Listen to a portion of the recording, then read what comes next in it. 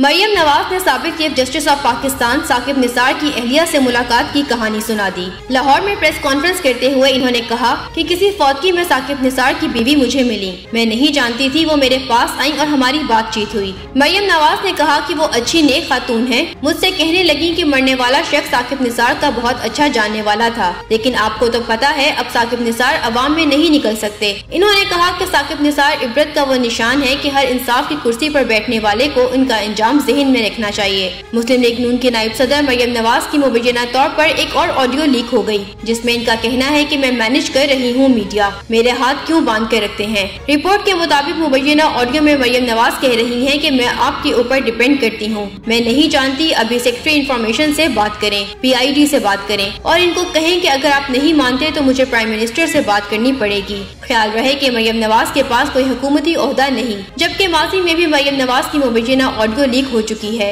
जिसमें वो मुबैना तौर पर इश्तेहार की तकसीम से मुतलिक बात कर रही है। वफाकी वज़ीर खुर्शीद शाह ने वज़ीर आज़म शहबाज शरीफ को खत लिख दिया। कहा की काबीना में जेर बहस मामला सर्कुलेशन असम्बलियों के ज़रिए मंजूर किए जा रहे हैं। रिपोर्ट के मुताबिक खुर्शीद शाह के वज़ीर आज़म को लिखे गए खत के मतन में तहरीर है की पी टी आई हुकूमत भी काबीना इजलास में मसाइल आरोप बहस ऐसी गुरेज करती थी। इन्होंने कहा की पी टी आई हुकूमत भी वजारतों की असम्बलियाँ सर्कुलेशन ऐसी मंजूर कराती थी। खत में मजीद कहा गया है की आइंदा महकमों की असम्बलियाँ काबीना के एजेंडे में शामिल की जाए। तहरीके इंसाफ के लॉन्ग मार्च के दिन पुलिस ने कार्रवाई के दौरान गाड़ियों ऐसी भारी मकदार में असला बरामद करने का ऐलान किया। और बाद में बताया की वो गाड़ियाँ बिजाश न्याजी की थी, जिन्हें एक निजी सोसाइटी में रोका गया। तहम अब इस मामले पर बिजाश न्याजी खुद मैदान में आ गए और हैरान कुल इंकशाफात कर दिए। इन्होंने बताया की पुलिस वाले छापे के दौरान मेरे घर ऐसी मेरी घड़ी भी ले गए, जो नवाज़ शरीफ ने मुझे तोहफे में दी थी।